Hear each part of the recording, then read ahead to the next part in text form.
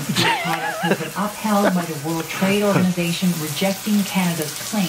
The ongoing hunt hurts Canada's international reputation for very little. Ugly looking value.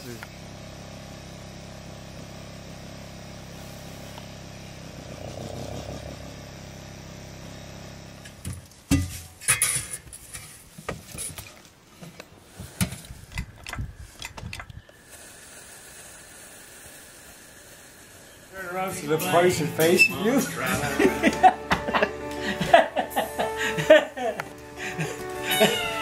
I better watch him and blow up my fucking face.